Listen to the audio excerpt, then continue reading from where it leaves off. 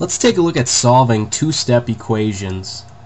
Here we have an equation that has more than just a variable and an operation and a number. We have two operations going on. We have b being divided by 3 plus 13. Now to solve an equation like this, we need to work backwards in with regard to the order of operations. We kind of need to work our way toward the variable and we start with the stuff that's further away from it. In this case, we have a plus 13. To get rid of plus 13, we do the opposite still, just like always when solving, and we subtract 13. If we do something on one side of the equation, we must do it on the other side, so we'll subtract 13 here as well. Then we bring down what we have left. b over 3, the plus 13 and the minus 13, that cancels out. And then we have 11 minus 13, that gives us negative 2. Now, this should look familiar. We've solved equations like this before. We have b divided by 3 equals negative 2. What's the opposite of dividing by 3? Well, that's multiplying by 3. So we're going to multiply both sides by 3. These cancel out. The divide by 3 times 3, they're the opposite, so they cancel. We're left with b equals Negative 2 times 3 is negative 6. Now remember, anytime we solve an equation, we can always go back and check to make sure that it works.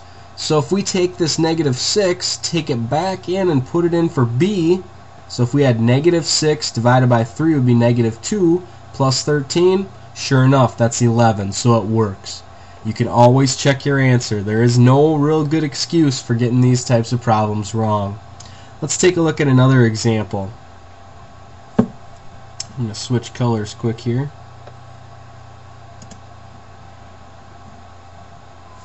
We have 9g plus 11 equals 2. We want to do the opposite. In this equation, we have the plus 11 to get rid of first, so we're going to subtract 11, do the opposite. Remember, if we do it on one side, we have to do it on the other, so we subtract 11 here. Then we bring down what we have left. 9g plus 11 minus 11, that cancels out. And 2 minus 11 is negative 9. Now, we have 9 times g. What's the opposite of times 9? Well, that would be divided by 9. So we're going to divide by 9, both sides of our equation. And we end up with g equals negative 9 divided by positive 9 is negative 1. Let's take a look at another one here. Let's go up on the top and take a look at this one.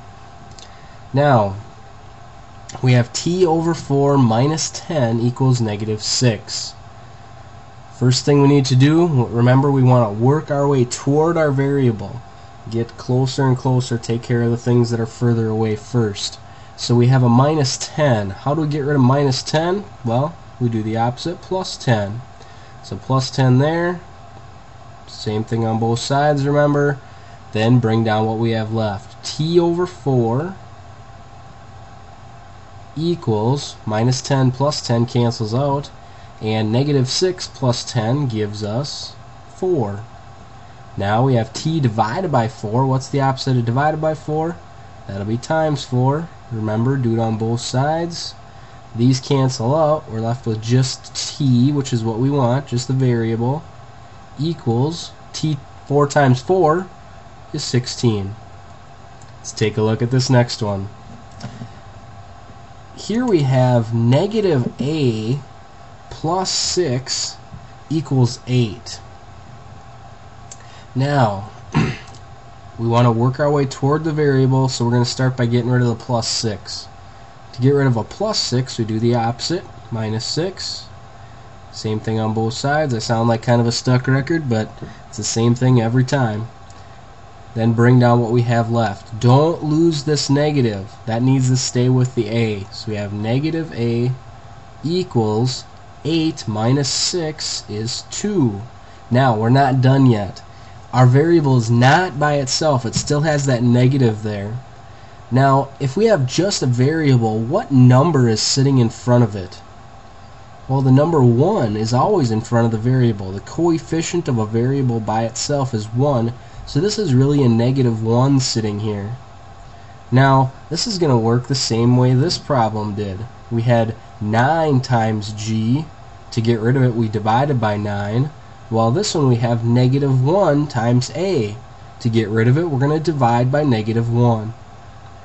Divide by negative 1 on both sides. Those cancel out, of course and we get a equals 2 divided by negative 1 gives us negative 2. Let's look at one final example here. This one, we've got 15x plus 3 equals 48. First step again, get rid of the plus 3 by doing the opposite, minus 3. Minus 3 on both sides, bring down what we have left. 15x equals 48 minus 3 is 45. Then we have 15 times x. Do the opposite, which would be divided by 15. Both sides. Then we have x equals 45 divided by 15 is 3. And again, remember, you can always double check your answer. You could take this number you get, put it back in for the variable, and see if it works. Like in this case, we have 15 times 3 that's 45 plus 3 is 48, so it works. You can always double check your answers. Hopefully this is helpful. Good luck.